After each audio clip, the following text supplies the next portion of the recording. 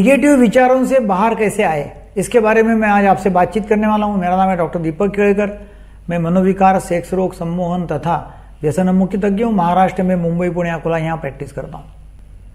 काफ़ी सारे मतलब सभी डिप्रेस पेशेंट को निगेटिव विचार रहते हैं। या निगेटिव विचार जिनको, उनको डिप्रेशन रहता ही है।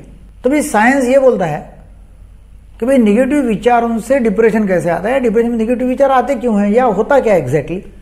तो थोड़ा हम साइंटिफिक देखेंगे। कॉग्नेटिव बिहेवियर थेरेपी जो है कॉग्नेटिव बिहेवियर थेरेपी उसके हिसाब से हम आज उसके ऊपर देखेंगे निगेटिव विचारों की तरफ़ कि भाई आते कैसे है, क्या होता है।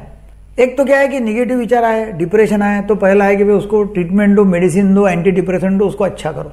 दूसरा है कॉग्नेटिव बिहेवियर थेरेपी साइकोथेरेपी या काउंसलिंग तो उसमें क्या किया जाता है? होता क्या है एक्चुअली ये जो लोग रहते हैं कि जिनको ऐसे निगेटिव विचार आते हैं और उनको डिप्रेशन आता है मूड डाउन हो जाता, खराब हो जाता डिप्रेस्ड हो जाता, उनको होता कैसे? है मैं आपको एग्ज़ाम्पल देता हूँ कि ये क्या लोग करते हैं? कुछ भी घटना हुई तो उसकी स्टोरी बनाते हैं।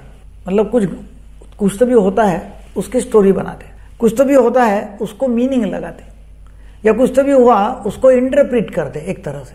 तो जो हुआ और जिसकी स्टोरी बनाई, ये दोनों बातें हो जाती है और उनको जो स्टोरी उन्होंने बनाई लगती है या स्टोरी बनाई रहती है, उनको वो सच्ची लगती है।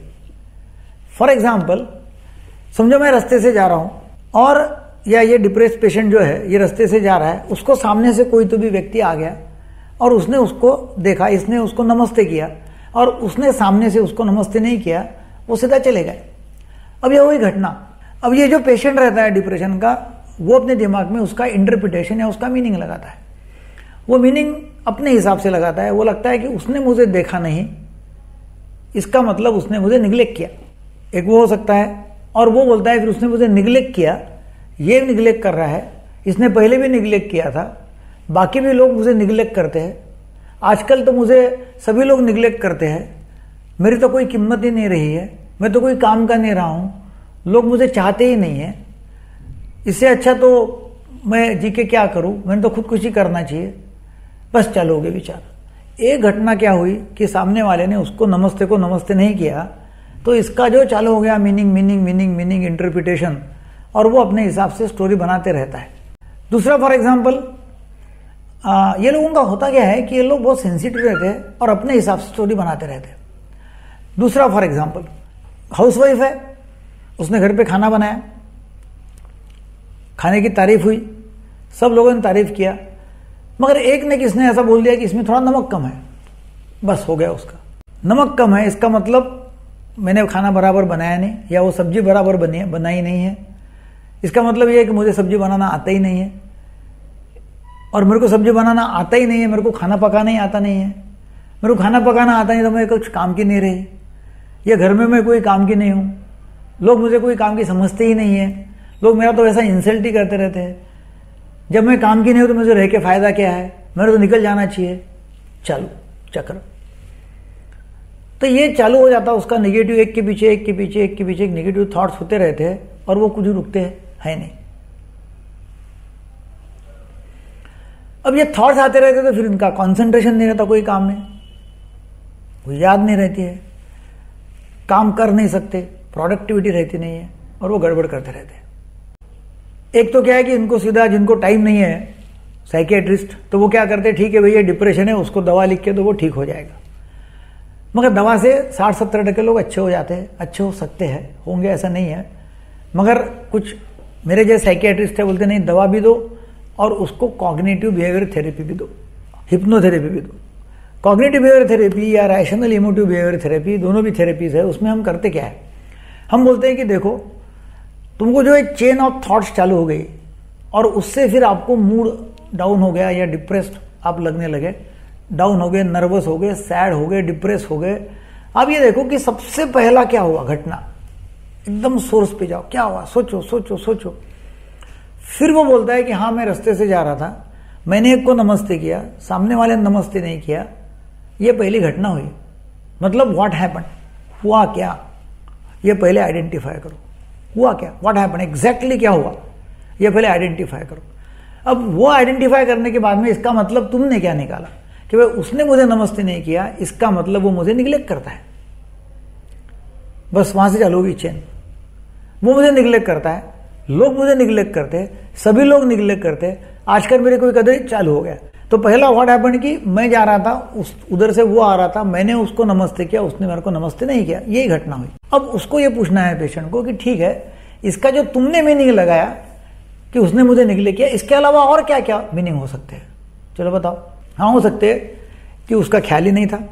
वो अपने गुंताड़े में था, विचारों में तो उसने देख के भी उसके अंदर घुसा ही नहीं कि आपने नमस्ते किया। ये भी हो सकता है। तीसरा ये भी हो सकता है कि बहुत जल्दी जल्दी में होगा और उसका ख्याल नहीं रहा होगा, जल्दी जल्दी में उसने देखा, नहीं देखा, मालूम ही नहीं पड़ा।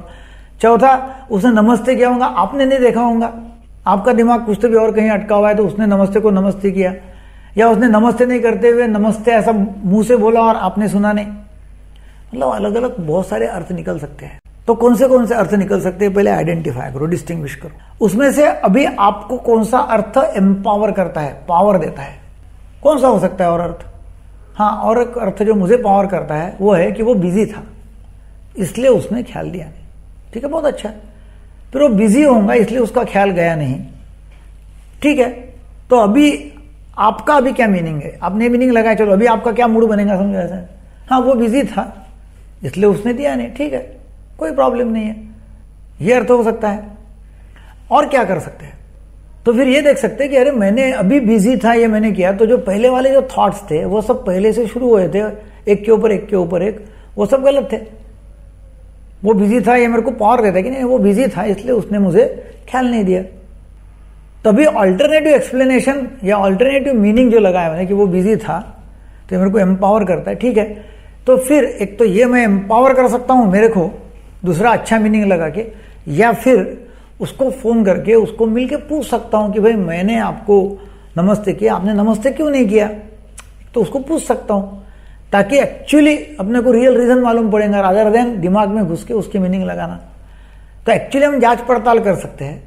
एक्चुअली उसको पूछ सकते हैं, और देख सकते हैं कि करना क्या है तो। ये हम करते हैं तो वो डिप्रेशन आएँगे ही नहीं, और आता होगा तो राइट ट्रैक पे चले जाएगा। तो इसको बोलते हैं cognitive techniques challenging the automatic negative thoughts ये करते हैं तो इसमें बहुत फ़ायदा होता है। वैसे आप हिप्नोथेरेपी कर सकते हैं सेल्फ हिप्नोसिस पॉजिटिव अफॉर्मेशन दवाई भी ले सकते हैं साथ साथ और इससे जो निगेटिव थाट्स है वो निकल जाएँगे। आप इसके बारे में आपको सवाल होंगे तो हम ऑनलाइन कंसल्टेशन करते हैं, आप ऑनलाइन मुझे कंसल्ट कर सकते हो। जो भी आपको सवाल है, हमारे जो सेक्स सोल्यूशन चैनल है, उसको विज़िट करो। बाकी वीडियोस देखो। हमारा जो मकसद है वो सबके लिए मानसिक स्वास्थ्य और व्यसन मुक्त भारत। इसमें आप भी हमारे पार्टनर बनिएगा। हमारा ऐप आप डाउनलोड करो और अच्छा लगा तो ज़रूर शेयर सब्सक्राइब और लाइक करो।